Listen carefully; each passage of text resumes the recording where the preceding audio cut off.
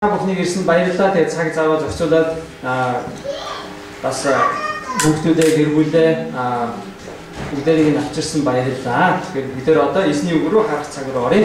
Тэгээ бүгдээр эзний үгийг хатгаас өмнө таны залбирая.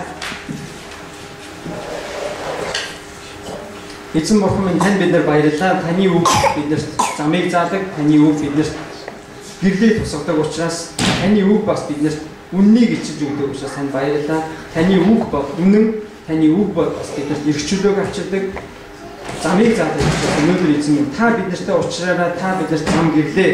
Зааж өгөөч гэж танаас гоё үнэхээр ариун сүнс нь та бидний дунд байж энэ байгаа хүмүүсийн зүрх сэтгэлийг та нээлттэй зөөлөн байлгаж чихийг нь бас нээлттэй байлгаараа. Таны үгийг танаас ирж байгаа энэ хүчтэй үгийг эзэн минь үнэхээр таны хүч чадлаар бас хүлээж авч амьдралдаа хэрэгжүүлж таны ивэл өрөөлийг ач тусыг хүртэж амьдрахад та бидний туслаарай гэж санаас Есүсийн нэрээр залбирч байна. Амен. Би нэг телевизэн нэгэн зураглаачтай уулзсан да тэр манай аж дээр нэг зураг авч ирсэн. Тэгээд ингэ янз бүрийн ярьж байхдаа надад нэг болсон явдлаа ярьсан. Тэгээд тэр хүн тэр залуу жоохон намхахтай А тэгээд ингэ зураглаач чинь ингэ видеогоор зураг зураг аваад явж байгаа юм байна л да. Явдаг хүн. Тэгээд нэг удаа төвийн ордонд ороод бичлэг хийжсэн байна л да. Тэгээд яг нөгөө гол үүлэн дээр нь очсон. Тэгээд шатны доор ингээд зогсоод яг тэндээс нөгөө гарч ирж байгаа тэр үед ерөнхий сайд байсан юм да гарч ирэх байсан байна. Тэгээд яг ингээд яг гол өөдөөс нь хараад ингээд яг уулзах замынх нь яг гол дээр ингээд нөгөө камера бариад ингээд зогсож ирсэн гинэ. Тэгсэн чинь харин яг нөгөө хүн гарч ирэхээс өмнө өөрийг нэг хүн зохиод байсан гинэ. Тэгэхээр өөрөө мэдэхгүй тэгээд яг энэ газар энэ газар би зогсно гэдэг ингээд байгаад байсан. Тэгээд нөгөө камераа барьчаад ингээд хараад бичлэг хийгээд яг бэлэн байжсэн. Тэгсэн чинь а нэг хоёр баг цаад хоёр таас нь ирээд нөгөө залууг чи ингээд өргөөл өргөөл хажууд дэс нам замаас зайлуулсан гэсэн. Тэгээ яг тэр яг нөгөө ерөнхий сайдын яг явах зам дээр нэгээ тэгэлцсэн байсан учраас яг зам дээр зогсож исэн учраас би ангуунаар шууд гарч ирээд ингээд өргөөл симп гэдэг өргөөл ингээд тавьчихсан. Тэгээд тэрүүгээрээ бас хүмүүсийн дунд өнгөө сон гэдэг өөрийг ярьж исэн.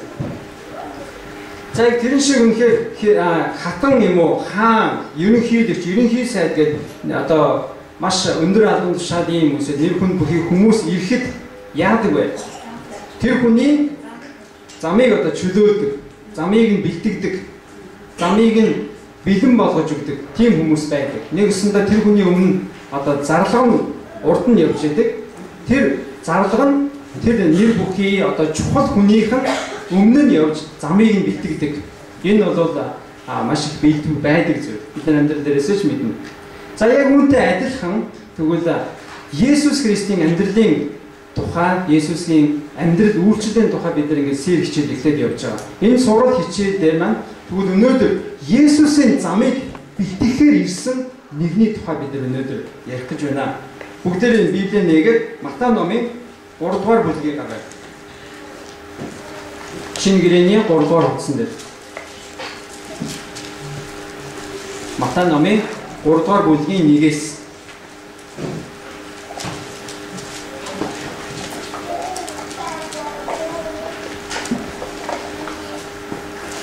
За олсон бол бүгдээр амен гэж хэлэхгүй. Матай 3-ын 1-ээс 12 хүртэл уншъя. Тэр өдрүүдэд баптизм хүртээгч Йохан ирж Юудын цүд сургаал айлдаж гимшцгээ Тэнгэрийн хаансад ойрхон байна гэж байлаа. Яг түүний тухай иш үзүүлэгч Исая цүлд хашгирагч нэгний дөө эзний замыг бэлтгэцгээ түүний замыг шулуун болгоцгоо гинэ гэжээ. Йохан Тэмээний ноосн дээд өмсөж суран бүс бүсэлсэн байваа. Хоол хүнсэн царцаа зэрлэг зөгийн бод байсан гэж.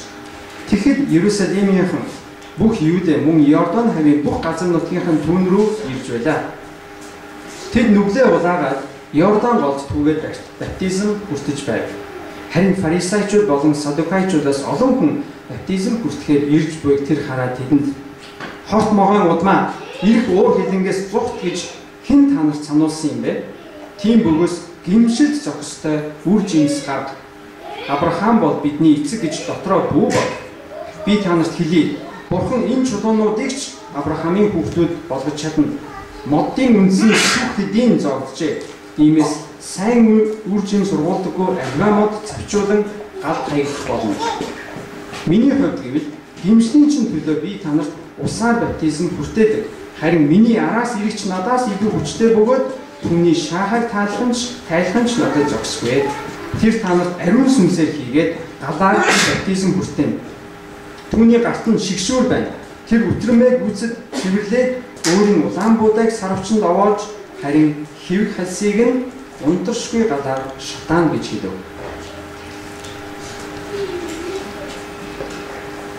Бид нар түрүүчийн бүтэн сайнд Есүс Христийн зүгнэлийн тухай, Есүс Христийн ирэх тухай хуучин гэрээнд хэрхэн зүгнэж бас хэрхэн тийм зураглууд өгөгдөж тэд нар нь Есүс Христ ирснээр яаж биелсэн тухай хуучин гэрээний хичээлүүдээр бид нар үзсэн. А дараа нь бид нар бас Есүс Христ энэ дэлхий дээр хэрхэн мэндэлсэн тухай бид нар а Христийн мэндэлсэн баяраар бид нар ярьсан. А тэгээд өнгөрсөн бүтэн сайдаар болохоор бид нар Христийн бага насны тухай бид нар ярьсан. Христийн бага нас яаж өнгөрсөн юм бэ гэдгийн тухай ярьсан. Тэгвэл өнөөдрөөс Есүсийн үүсэл хэрхэн эхэлж байгаа тухай бид эндээс харж байна. Есүс Есүс Христ энэ дэлхий дээр амьдраад өөрийнхөө үйлчлэлийг буюу олон нийтийн өмнө яг гарч Бурхны ажлыг хийсэн цаг нас нь Есүс 30 настайгаас эхэлсэн гэж Библиэлд байна. Тэгвэл Есүс 30 настайгаас ахуулаад эхэлж байгаа энэ үйлчлэл нь буюу энэ үйлчлэлийн замыг нь хэн бэлтгэсэн бэ гэвэл саяны бидний үнсэн баптизм бүртээгч Иохан байна. За энэ Иохны баптизм хүртээж байна гэж зарим хүмүүсээ баптизм гэдгийг ойлгохгүй байж магадгүй анхудаа сонсч яж байна. Баптизм гэдэг нь юу вэ гэвэл хүнийг усан дотор ингээд бүрэн бүтэн биеэр нь оруулаад булхаад одоо тэр уснаас бүрэн буцаад гарч ирэхийг хэлж байгаа. Ус нь ингээд булхаад дүрээд нэгснэ бүтнээр нь дүрээд ингээд гарч ирэх тэр үйлдэлийг энэ ёс жайгийг баптизм гэж нэрлэдэг. Тэгвэл энэ баптизмыг юудэж хизээ хийдэг байсан бэ гэвэл а нэгдүгээрт нь хэрвээ еврей бус хүн нэгсэндээ юудэ бус хүн за би өөрийнхөө итгэл үнэмшлээрээ би яг юудэшүүдтэй адилхан болёо. Би юудэ хүн гэж тооцогдё гэж шийдвэр гаргаад а юудэшүүдийн ам бол тэр үндэс нь нэгдэж байгаа үед тэр хүнийг тэр хүн баптизм хүртээгээд за одоо та юдэ хүн гэж тооцогдохоор боллоо гэж хийдэг байсан. Бас нэгэн тохиолдол нь болохоор гимшлийн төлөө хэрвээ гим нэгэн гим нүгэл хийгээд түүнийгээ түүнээсээ гимшээд улаагаад за би буруу юм хийсэн байна гэдгийг ойлгоод тэгээд үнэхээр Бурхны өмнө ирээд одоо гимшиж байгаа нөхцөл бас баптизм хийдэг байсан. За тэгвэл Есүсийн хувьд бас ийм баптизм хийлгсэн баг. Биний тоёг жоохон дараахан юм. Харин тэгвэл А Йохан энэ хүмүүст усан баптизм хийхдээ юуны төлөө хийсэн бэ гэвэл хүмүүсийг юу гэж хэлсэн бэ? Цөмөрөө дахиад нэг харъя. 3 дугаар бүлгийн 2 дугаар эшлэлээр байна. Гимсцгээ Тэнгэрийн хаанчлал ойрхон байна гэж хэлсэн. Гимсцгээ Тэнгэрийн хаанчлал ойрхон байна. Нэг гэсэндээ Йохан юуны баптизм хийжсэн бэ гэвэл гимшлийн төлөөх баптизм байсан. Буруу юм хийжсэнийг ойлгоод Бурхны өмнө гим нүгэлтэйгээ ухаарсан тийм хүмүүст гимшлийн баптизм хийсэн. А тэгэж хэлэхдээ бас нэгэн чухал зүйлийг хийсэн юм. Тэнгэрийн хаанчлал ойрхон байна гэж хэлсэн. Энэ юу хэлээд байна гэвэл Тэнгэрийн хаанчлал ирж байна. Тэнгэрийн хаанчлал яг одоо энэ ирчгээд байна. Дөнгөж ирээд байна гэж хэлж байгаа. Тэр хин рүү хин рүү чиглэж хэлж байна гэвэл Есүс Христийг хэлж байгаа. Есүс Христ буюу тэр хаан тэрхүүн хаадын хаан эзний эзэн тэр Бурхны хаанчлалын хаан нь өөрөө энд ирээд байна гэж хэлж байгаа. Бурхны хаанчлал ойрхон байгаа учраас та нар гимсцгээ, гим нүглээ хийгээ болцоо. Үүнээсээ гимшиж Бурхны өмнө улаацгаая гэж Иохан баптизм Иохан хүмүүсийг баптизм хийжсэн байна. Тэгвэл яг энэ ийм баптизм хийх болно гэдгийг нь олон зуун жилийн өмнө Исая гэдэг нэгэн зарлага зөвлөсөн байсан. Тэр зөвлөснийг цөмөрөө Исая номын 40-оос уншиж болно. Бүгдээр иргэдээ хуучин гэрээний Исая номын 40-р бүлгийг харъя. Исая номын 40-р бүлэг. Хуучин гэрээний 1053 дугаар утсан дээр байна.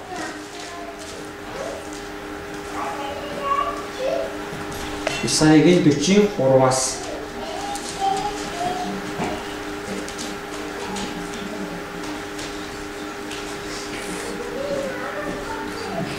энэ нэгж хэлсэн байна. Хашаагч нэгний дуу зилүүд тал эзэн зориулан зам засагтун манай бурхан зориулан сүл их замыг тэгш болгогтун хөндөй бүр өргөгдөж уул толгод бүр нам болж барсар газар нь тэгш бүдгэр газар тэгш хөндөй болгогтун дараа нь эзний алдар илэрхийлэгдэж бүх махан бие хамтдаа үзнэ. Учир нь эзний ам айлтлаа гэв. Яг энэ үгийг бүгдээрээ эргүүлээд Матай номын 3 дугаар бүлэгдээ Иохан хэлж байгаа. Юу гэж хэлсэн бэ гэхээр цүр ташаагч нэгний дуу эзний замыг бэлтгэцгээ түүний замыг шулуун болгоцгоо гэж яг энэ Исаягийн 5 600 жилийн өмнө зүгэнж исэн тэр үгээр нь Өнөөдөр яг энэ Йохан хүмүүст эзний үгийг тунхалж байгаа. Та нар гимсцгээ эзний замыг бэлтгэцгээ. Эзэн ирэх гэж байна. Тэр хаан ирэх гэж байна. Хаан Бурхны хаасад ирэх гэж байна. Тийм учраас та нар өөрсдийгөө зөв болгохтун Бурхны өмнө зөв болгохтун гэж хэлж байгаа. Тийм учраас Йохан та нар эзний замыг бэлтгэцгээ гэж номлож байгаа.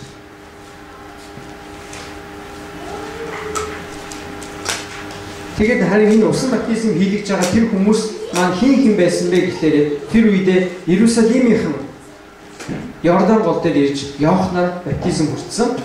А бас Юудэ хавийнхан бүгдээрээ Йохан дээр ирж баптизм хүртсэн. Тэднэрт энэ Йохан юу гэж хэлж ирснийг цөмөрө Лук номоос харъя. Лукийн 3 дугаар бүлгээс. Хойш нэргүүлээд Лукийн 3 дугаар бүлгээр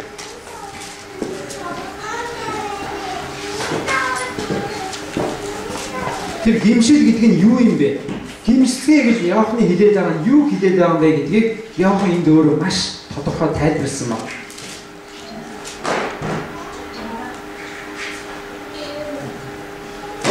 Найн дотор утсан дээр Лук намын 3-ын 7-оос олсон бол амен гэхгүй юу? За байна. Тиймээс тэр өөрөөр нь баптизм хүртэх гэж байсан олон түмэнд хандан хорт могоон удмаа их уур хилэнгээс дуртахыг хэн танарсан болов тийм бөгөөс гимшил зохистой үр жинсийг бий болгосон. Авраам бол бидний эцэг гэж дотроо хэл би танарт хэлье. Бурхан энэ чулуунуудыг ч Авраамийн хүүхдүүд болгож чадна. Моддын үндсэнд сүх хэдийн зогджээ. Тиймээс сайн үр жим сургуулдаггүй аливаа мод цавчигдан галт хаягдах болно гэв. Суулсан олон түмэн түүнээс тэгвэл бид юу хийх ёстой юм бэ гэж асууцгаав. Тэр тэдэнд хоёр цамцтай цамцгүй нэгэндээ илүү ч хоолтой нэг нь үүний адил үйлдэгтэн гэлээ. Зарим татвар хураагчид баптизм хүртэхээр бас ирж түүнээс багшаа бид яах болж байна гэж асуухад та нар тогтоогцноос илүү бүү авахтун гэв. Зарим цэргүүд бид яах болж байна? Бид яах ёстой юм бэ гэсэнд тэр хинээс ч хүчээр мөнгө бүү ав. Хэнийг ч хэлсээр бүү бүтэг амдаг хөлсөндөө сэтгэл хангалуун бай гэлээ. Ард олон Христийг хүлээн Иохны тухай бүгд зүр сэтгэлдээ түүний Христ мөн болох эсхийг бодож байлаа. Энд Иохноор тэр баптизм Иохан маш олон хүмүүс баптизм хийгээд гол дээр байж ирсэн. Тэгвэл тэр дондор нь ирсэн фарисеучуд, садукайчуд бас цэрэг гээд янз янзын хүмүүс ирсэн. Тэгвэл тэр хүмүүсийн хувьд гимсгээ гэдэг нь ямар утгатай юм бэ гэдгийг энд тайлж өгч байгаа. Яахан юу гэж хэлсэн бэ? Хоёр цамцтай нэг нь нэг илүү цамцаа цамцгүй нэгэндээ өг гэж хэлж байгаа. Татвар хураагч нь юу гэж хэлсэн бэ? Та нар тогтоогдсон тогтоогдсноос илүү бүү аа. Нэг гэсэндээ та нар өөрсдийнхээ эрх мэдлийг ашиглан бүү илүү аваа гэж хэлсэн цэргүүдэд юу гэж хэлсэн бэ? Та нар хүчээр хүнээс битгий мөнгө ав. Авж байгаа цалиндаа сэтгэл хангалуун байна гэж хэлж байна. нэг ясандаа яг хүн болгонд тохирсон байдлаар та нар өөрсдийгөө хийж байгаа зөв буруу зөв буруу үйл тэр буруу үйлдэл зогсоогоод гимсцгээ тэр үйлдэл хийхээ боль гэж хэлж байгаа. Тийм учраас та нар гимсцгээ хэрвээ та нар гимшихгүй бол Бурхны шийтгэл ирж байна гэдгийг энэ хүмүүст хэлсэн ба. Бурхны шийтгэл ирж байгаа гэдгийг юу гэж хэлж байна гэхээр тэр сүх аль хэдийн модны үндсэнд зоогдсон байна. Тиймээс сайн үржийн сургуулдаггүй альва модыг альва мод цавчигдан галт хаягдана харин үр жимстэй модуудад хадгалагдаж үлднэ гэж хэлж байгаа. Энэ нь юуны тухай яриад байна гэхээр Христ ирснээр Христ шүүх болно. Та бүхний амьдралыг шүүх болно. Тийм учраас тэр шүүлтийн цаг ирэхээс өмнө та нар амжиж өөрсдийгөө зөв болгоцгоо. Өөрсдийнхөө буруу үйлийг зогсооцгоо, гимсцгээ. Та нар эзний өмнө зөв байцгаа гэж Иохан хэлж байна. Тэгвэл Иохан Бурхны замыг бэлтгэхдээ нэгсэндээ Христийн ирж байгаа замыг бэлтгэхдээ хүмүүсийг та нар гин нүглээсээ ухарцгаа, гин нүглээ хийхээ болцгоо. Бурхны өмнө зөв харилцаатай бол гэж хүмүүс хэлж байгаа. Иохны бас нэгэн зорилго нь юу вэ гэхээр Есүс Христийг гэрчлэх.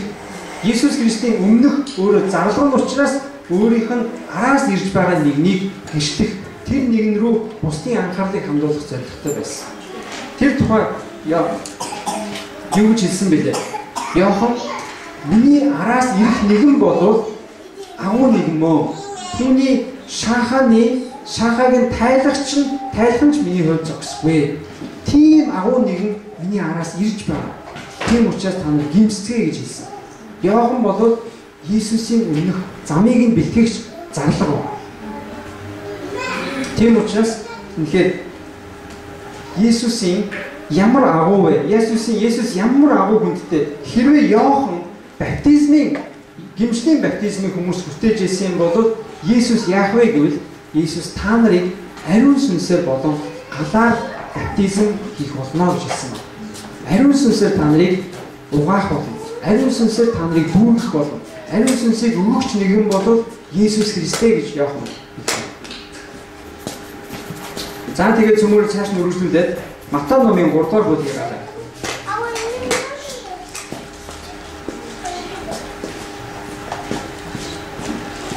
Матагийн 3-ын 13-аас Тэгвэл Яохан маань буюу нэгсэндээ Христийн өмнөх зарлага маань эзний замыг бэлтгэхээр ирээд гимсгэ гэж номлосон юм байна. Тэгвэл түрүүний дараа юу болсон бэ гэвэл Есүс энэ Яохан дээр ирээд усан баптизм хийлгэж байгаа. Энэ тухай цөмөр юм шиг. Тэгээд Есүс Иохноор баптизм хүртэхийн тулд Матай номын 3 дугаар бүлгийн 13-аас Тэгээд Есүс Иохноор баптизм хүртэхийн тулд Галилаас Йорданд түүн дээр ирэв. Харин Иохан би танаар баптизм хүртэх учиртай байтал та над руу ирнэ гэж ирнүү гэд түүнийг болиулахыг оролдтол Есүс хариулна. Энэ удаад үүнийг зөвшөөр. Ингэснээр альва зөвхт байдлыг гүйцэтгүүлэх нь бидэнд зогсож байна гэж хэлэхэд тэр түнд зөвшөөрөв. Иесус баптизм хүртээд одын уснаас тэр даруй гарах үед тэнгэр заан гэж Бурхны сүнс тагтаа лугаа хадад бууж түүн дээр ирэхийг тэр харваа. Тэнгэрээс энэ бол миний хайртгүй түүнд миний таалал оршдог гих дуу харлаа. Энд юу болж байна? Иесус нөгөө гимшлийн баптизмыг номлож байгаа Иохан дээр ирээд баптизм хийгэж байгаа. Есүс гимших ёстой, гимших хэрэгтэй, гимших шаардлагатай болоод Яохан дээр ирж баптизм хийлгэж байна юу? Гэтэл үүндээ Библиэд юу гэж хэлдэг вэ гэвэл Есүс нэг ч нүгэл үлдээвэ гэж байна. Тэгвэл Есүсийн хувьд гимших шаардлага байсангүй. А бас Есүс өөрөө юудэ хүн байсан учраас юудэ хүн болох ёслол үйлдүүлж баптизм хийх шаардлага байсангүй. Тэгвэл Есүс яах гэж Иохна баптизм хийлээ. Тэгвэл үнийг ойлгохын тулд бүгдээрээ хуучин гэрээний нэгэн бичлэлийг уншийе. Тэр нь болохоор хуучин гэрээний Лев номын 8 дугаар бүлэг дээр байна. Левит гэдэг номын 8 дугаар бүлэг. Энэ Левит гэдэг номын номдэр гарч байгаа хүмүүс маань Левчүүд буюу Бурхны тахилчдын тухай авч байгаа. Бурхны тахилчид ямар үүрэгтэй байсан бэ гэхээр Бурхны ард түмэн болон Бурхан хоёрыг хооронд нь холбогч Бурхны хүмүүсийн өргөж өргөсөн тахилыг өргөдөг хүмүүс нь байсан. За тэр тахилчдыг яадаг байсан бэ гэдгийг чимээр 3 дугаар бүлгийн 6-аас харъя л да. 140-гээр утсан дээр байгаа. Хуучин гэрээний 140.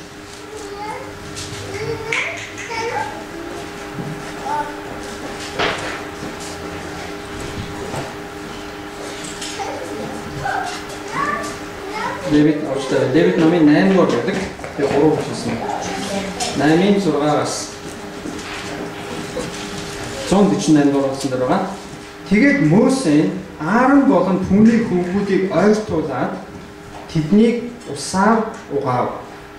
Тэр түнд дээд өмсгөж урт бүсээр бүслэн нөмөргийг өмсүүлээд түнд эфодыг өмсгөн үүнийг тогтоох эфодын уран гой бүсээр түүнийг бүслэв. Тэгээд тэр цээжвчийг түнд тохон өмсгөж цээжвчэнд урийн болон түмиймийг хийв. Тэр бас түүний толгой дээр малгай тавин, малгаан дээр урд талд нь ариун титэн болох алтан тайзыг эзний мөөшөд тушаасан ёсоор тавив. Тэгэд Мөсө тосолгооны тосыг авч асар болон түүн дотор байсан бүхнийг тослон тэдгэрийг ариусгав.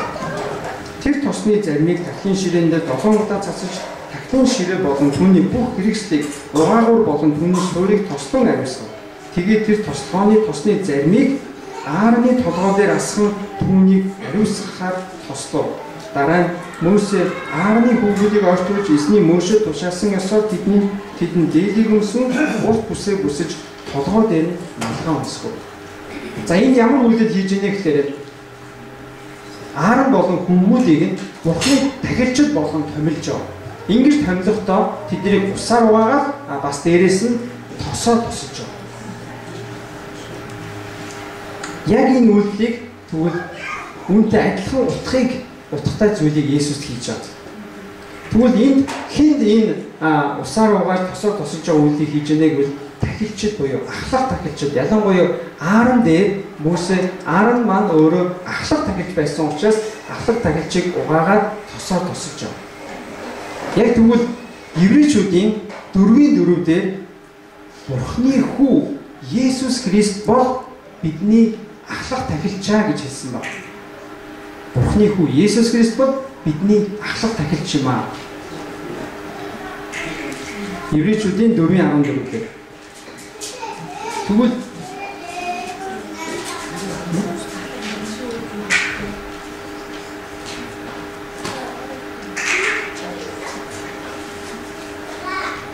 Бурхны хүү Есүс Христ маань яг тэгвэл энэ тахилчид хийгддэг байсан үйлдэлийг хийлгүүлж байгаа. Усаар угаалгуулаад а тэгээд яг усны усан баптизм хийлгэсний дараа юу болж байна? Тэнгэр нээдээ ариун сүнс тагтаа болон Есүсийн дээр бууж ирлээ гэж байна. Тэгээд бурхан юу гэж хэлсэн бэлээ? Энэ бол миний хүү, миний таалал чамд байна гэж хэлж байгаа. Тэгвэл яг тахичдыг юу тослоод тэдний дээр Бурхны ивэд буугаад тэд нар тэр цагаас хойш Бурхны тахилчдын ажил үйлчлэлийг хийж ирсэнтэй яг адилханаар Иесус Христ усан баптизм хийлгэсний дараа ариун сүнс түн дээр тагтаа болон бууж ирээд яг тэр цагаас хойш Иесус өөрийнхөө үйлчлэлийн ажлыг хийж байгаа. Тэгвэл үнэхээр Иесус Христ болоод бидний ахлах тахилч учраас эзэн бас өөрийнхөө энэ баптизмыг хийлгэсэн баг. Иесус бидний ахлах тахилч учраас За тэгвэл Матай юу Иохан маань гимжлийн баптизмыг хүртээжсэн араас нь дараа Есүс бас яг энэ баптизмыг хийлгэлээ. За тэгвэл дараа нь юу болсныг цөмөр харъя. Матай номын 4-р бүлгээс. Уцаад Матай ном руу очие.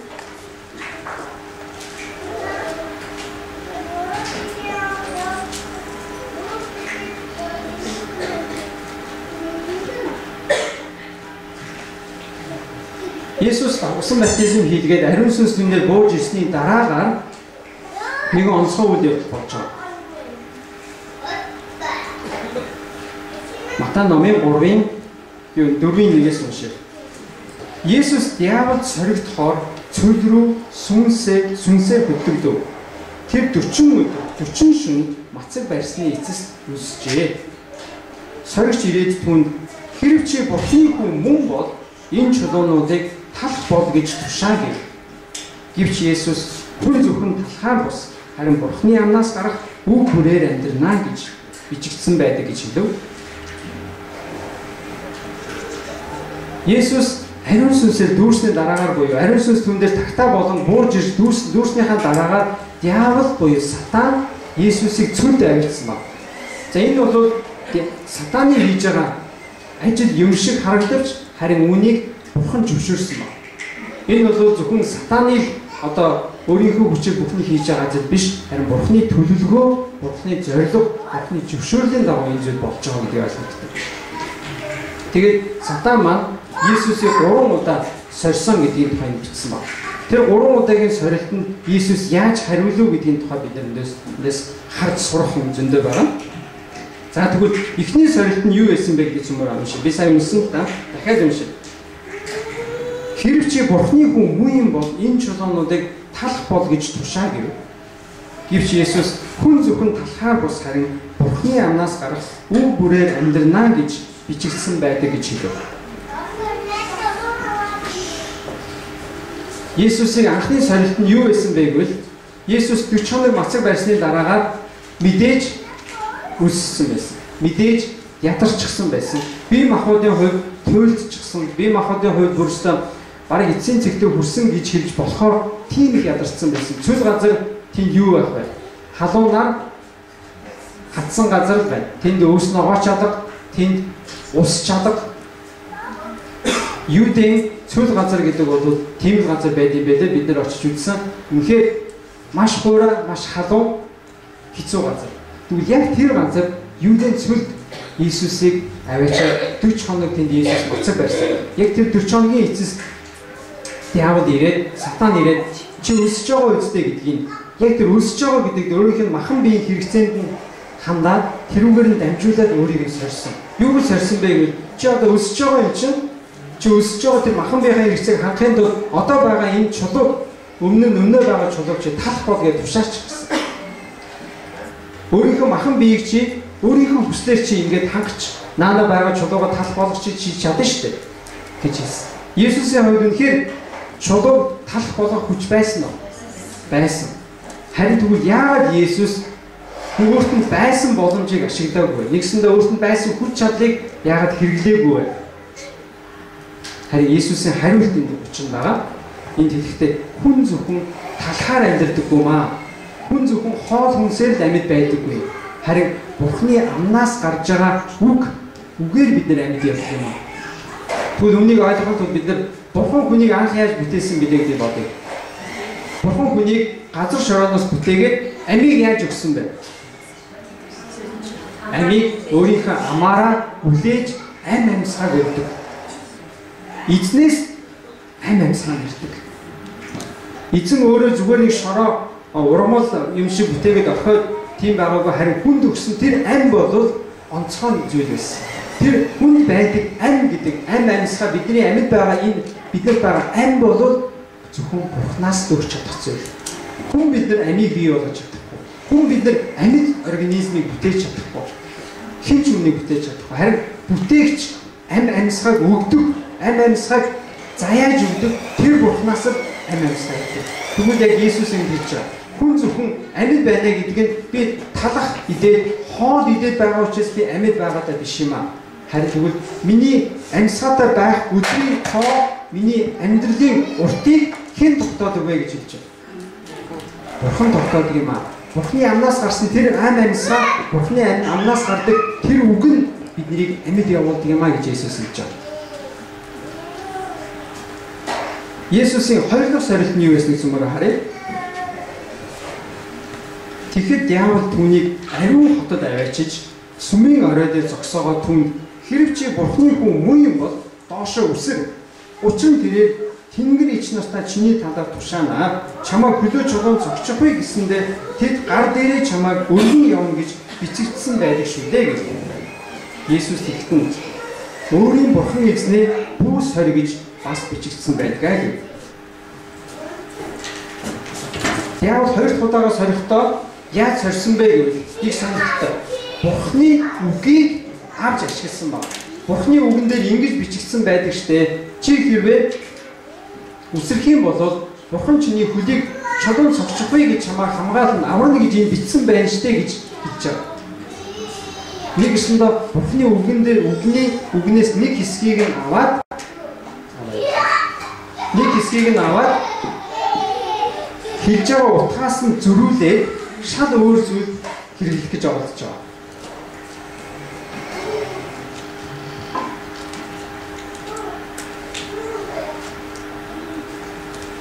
Бурхны үгийг нэгсэндээ буруугаар ашиглаж өөрийнхөө хэрэгцээг хангуулах гэж байгаа. Харин тэгсэн Иесус юу гэж хариулсан бэ? Өөрийн бурхан эзнээ бүр сорь гэж бас бичигдсэн байлгаа гэдэг. Бид нар эндээс нэг анхаарч байна гэж бичигдсэн байдаг гэдэг зүйлийг хэлж байгааг анхаарах хэрэгтэй. Гэж бичигдсэн байдаг нь юу хэлээд байна гэвэл гэж бурхны үгэнд бичигдсэн байдаг юм а гэж Есүс бурхны үгээр буцаагаад сорилтанд хариулж байгаа. Нэгэсэндээ хуучин гэрэн дээр бичигд бичигдсэн үгээр Есүс буцааж хариулж байгаа. Нэгэсэндээ тэр сорилтыг Есүс юугаар давж байна? Өөрийнхөө хүчээр давж байна уу? Өөрийнхөө ухаанаар давж байна уу? Өөрийнхөө мэрэгнээр, өөрийнхөө мундагаараа? Үгүй харин эзний үг ингэж бичигдсэн байдаг гэж эзний үгээр буцааж, няцааж тэр сорилтыг давж байгаа. Энэ сатаны хоёр дахь сорилт нь бол одоо бид нар өөрсдийнхээ амьдрал дээр бодох юм бол өөрийнхөө хүсэл сонирхол, өөрийнхөө а бурхныг өөрийнхөө хүслийг биелүүлэхдээ мушгин гуйвуулах, ашиглах гэсэн орлоготой яг адилхан. Чи эндээс үсэрч энэ дээрээс үсэрч гэж сатан хэлж байгаа.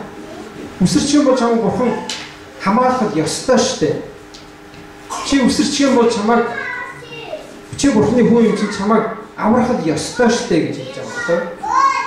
Тэгвэл яг үнтэй адилхан бас бид нар чи ингэж тэгвэл чиний бурхан чамайг тэхэд ёстой шүү дээ. Намайг бурхан хангахад ёстой Бурхан миний хэрэгцээг хангахад ёстой.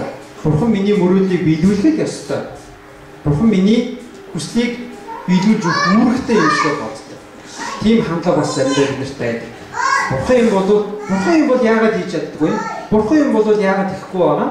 Бурхан юм бол яагаад энэ нөхцөл байдлыг ус зогсоохгүй байгаа? Бурхан юм бол яагаад энэ дэлхийг өөрчилчихгүй байгаа? гэдэг тиймэрхүү хандлагатай тиймэрхүүс сэтэлтэй асуултыг бид нар олон удаа сонсч байна. Тэгвэл энэ бүхэн үнэхээр хүн өөрөө буруу замаар явж ээж хүн өөрийнхөө нөхцөл байдлыг өөрийнхөө хандлагыг өөрийнхөө гэмт нөхцөлийг өөрчлөхгүй мөртлөө бурхнаар өөрийнхөө хүсэл сонирхолд нийцүүлсэн зүйлийг хариултыг авахыг хүсчээд бидний гэмт хандлагыг харуулдаг.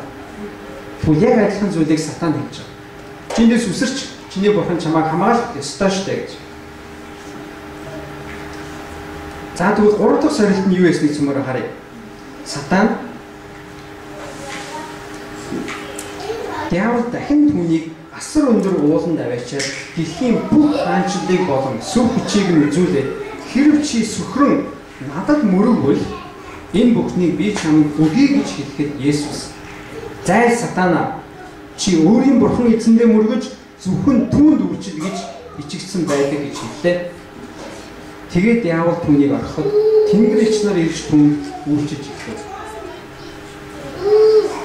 Сатаны гурав дахь сорилт нь юу исэн бэ гэвэл Есүсийг маш өндөрт аваачаад өөрийнх энэ дэлхийн хаанчлалуудыг сүрж авахлангийн яруу алдрын бүр гайхамшигтай болгоныг үзүүлээд за чи надад мөрөгч чи надад нэг л мөрөгч тэгэх юм бол энэ чиний нүдэнд харагдж байгаа бүх зүйлийг би чамд өгье гэж хэлж Тэгвэл энэ дэлхий дээр байгаа энэ хаанчлыг энэ бүх их мэдлийг авах маш амархан маш хялбар бас маш хурдан арга биш үү? Ганц л үйлдэл хийчих. Чи надтай мөрөгч. Миний өмнө мөрөгч. Өөр юм байхгүй. Тийм хэцүү юм биш. Надтай мөрөгч гэх юм бол би чам чиний нүдэнд харагдж байгаа энэ бүх үнийг чамд өгье. Тэгээд энэ бүгдээрээ шинийх. Би энийг яг энэ дөнгөж итгэж болоод удаагүй байгаад энийг уншаад Яагаад Иесус тгээггүй бол энэ чинь амархан байж штэ. Тэгэл мөрөгчл тэгэл бүх юм авчих штэ гэж бодож исэн. Тийм биш үү? Бидний амьдрал таарагддаг штэ. За чи Есүд итгэдэг. За яах вэ? Чи нэг л удаа хийчихлээ. Яах вэ? Чамайг хин чадахгүй дээ. Нэг л удаа явуулчихлаа. Нэг л удаа чи ингэчлээ. Ганцхан удаад ихчээчлээ. Чамайг хинч мэдэхгүй дээ. Хинч харахгүй дээ. А эсвэл чи нэг л удаад ярьчлаа. Тэгээд боловч чи дахиад ихгүй шүү дээ. гэж байдлаар янз бүрийн байдлаар бидний уруу татдаг. Бидний үгээр үгээр шахдаг тохиолдол гардаг. Нэг л удаа үнийг хийж. Чи нэг л удаа надад мөрөгч. Тэгвэл тэгээд энэ бүх хаанч чиний болоо гэж сатан хэлж яхад Иесус юу гэж хэлсэн бэ? Чимээ дахиад нэг нарийн харъя. Чи өөрийн бурхан эзэндээ мөргөж зөвхөн түмэнд үрчил гэж хэлж байгаа. Чи зөвхөн өөрийн бурхан эзэндээ мөргөж зөвхөн түүнд л үйлчлэх гэж байна. Тэгвэл сатаны чи надад мөрөгчих гэж хэлээд байгаа нь юу хэлээд байна вэ? Энэ нь чи надад намайг хүндэл, намайг өөрийнхөө дээр мөргөж, намайг хүндэл, намайг дээдэл гэж хэлж байгаа. Чи намайг дээдлэх юм бол чи надад мөргөх юм бол чи намайг миний боол зарцуулах юм бол би өгнө гэж хэлж байгаа юм байна. Тэгвэл үнэхээр тэгвэл Есүс тийм хялбар аргаар юм уу? Тийм хурдан аргаар Энэ өөрийнх нь үнэхээр үнэндээ бол өөрийнх нь эзэмшлийн энэ ертөнцийг тийм хялбар юм уу? Нэгэсэндээ буруу аргаар Иесус өөртөө аваагүй. Харин Иесус чи зөвхөн өөрийн эзэн бурхандаа л үуч. Тэр зөвхөн тэр бурханд бид нар мөргөх учиртай. Тэр бурханд бид нар хүндэтгэл магтаалыг өөрсдийнхөө бишрэл хүндэтгэлийг өргөх зэрэг учиртай. Тэгвэл хүн бид нар өөр нэгэн хүнд биш. Өөр нэгэн их мэдлэлтэнд биш. Сатаанд ч биш. Харин тэгвэл зөвхөн биднийг бүтээсэн биднийг биднэрт амь амьсгал өгсөн биднийг амьд байлгадаг тэр эзэндэл зөвхөн бид нар хүндэтгэлээ бишрэлээ магтаалаа өргөх учиртай өөр хүнд ч биш бидний өргөх магтаал нь зөвхөн бүтээгч бурхан эзний эзэн хаадын хаан тэр бурхан эзэн л очих учиртай өөр хин нэг нь биш өөр хин нэгэн удирдагч биш хин нэгэн пасторт биш хин нэгэн хүнд биш. Бүр төрдөж биш. Харин тэгвэл зөвхөн Бурхан эзэнд бидний хамгийн дээд хүндэтгэл магтаал очих учиртай. Есүс үүнийг хэлж. Зөвхөн тэр эзэн Бурхан та нар мөрөг тэгээд тэр эзэндэл зөвхөн уучлал гэж эзний үг хэлсэн байдгаа гэдгийг эзний үгнээс хэлж байгаа. За тэгвэл үнэхээр энэ гурван сорилтуудаас Есүс гурвууланд нь ингэж бичигдсэн байдгийг гэж Бурхны үгээс хариулсан байна. Тэгвэл үнэхээр бид нар бас амьдралдаа янз бүрийн сорилтонд ордог, янз бүрийн нөхцөл байдалд ордог. Янз бүрийн хэцүү байдалд ордог. Бид нар манай хуучин цуглаанд олон жилийн өмнө нэлээд хэдэн жилийн өмнө одоо нэг бүртгэлээс бол нэлээд асуудал үүссэн. А тэгээд тэр би гол буруутан болж исэн. А тэгээд намайг а над дээр хэрэг үүсгээд тэгээд чи над цуглаанаа боль гэж цуглаанаар цуглаан цуглахаа боль гэж хэлж байсан. А тэгэхэд харин бид нар болоогүй эзэн бурхнаа бид нар хүндлэх, эзэн бурхнаа өргөл дээдлэх тэр үйл үйлдэлээ бид нар өөрсдийн сэтгэлийг бид нар зогсоож чадахгүй. Бид нар үргэлжлүүлсээр байсан. Бид нар эзний хүндэлсээр цугласаар байсан. Харин эцэстээ энэ бүхэнд эзний эзний өгсөн алдраар өнгөдрсөндөө тэр зүйл маань үнэхээр хэрвээ хин нэг хүн таныг өө чи суглаандаа битгий нэг л удаа чи явах байх зүгээр шүү дээ. Нэг л удаа тасчихад яах юм бэ? Нэг л удаа чи ингэчилдээ. Нэг л удаа чи бидэртээ нийлээ нэг юм хичилдээ. Нэг л удаа ингэчилдээ гэдэг янз бүрийн сорилтууд гарч ирнэ. Амьдрал янз бүрийн зүйлүүд учрна. Тэгвэл тэр үед бид нэр ямар хариултыг ёстой учиртай вэ гэвэл зөвхөн эзэн бурхнаад хүндэл зөвхөн эзэн бурхнаад бид нэр өөрсдийнхөө магтаал хүндэтгэл өөрсдийнхөө бичиг хайрыг бид тэр эзэн л өгөх учиртай. бас үнэхээр заримдаа эзэн бидний хүнд цагаар авч явна. Тэр эзний зорилго төлөвлөгөө байж болно. Яг Есүсийг цүлд аваач 40 хоног маш хүнд байдал байлгасан Бурхны хүсэл байсан. Бурхан үнийг хүссэн, төлөвлөсөн. Тэгвэл заримдаа эзэн биднийг хизүү замаар авч явна. Хизүү замаар эзэн биднийг дагуулна. Энэ эзний төлөвлөгөө байж болно. Бид дандаа шулуун дардан замаар яваад Тэгвэл тэр үед ч гэсэн эзнээс бид нэр зурсан, эзнээс бид нэр эзний амлалт, эзний үгээр бид нэр хэвээрээ байх хэрэгтэй. Тэгэх юм бол эзний хүчээр, эзний үгийн хүчээр бид нэр давж сууж чадна. бас бидний махан биеийн хэрэгцээ, бидний тав тух, бидний өөрсдийн нэр хүнд ч юм уу, бидний өөрсдийн юу л миний хүсэл мөрөөдөл тэр хамгийн чухал биш ээ. Харин эзний хүсэл, эзний төлөвлөгөө, эзний нэр хүнд хамгийн чухал. Тэгэх юм бол эзэн өөрөө алгачлаа. За тэгээ бүгдээрээ босоод эзний хүн залбираа тэгээд ярьсан цаг руугаа орцгоё. За та бүхэн жоохон ядарч байгаа халуун халуун байгаа юм шиг бүгдээрээ ноцороо агшаа гэдэг байна. Сонхын онгоод бол харуулда хараад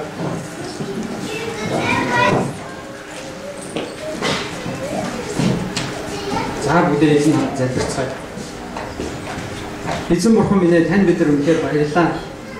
Есүс Христ та хүн болж энэ дэлхий дээр ирэхдээ зөвхөн нэг та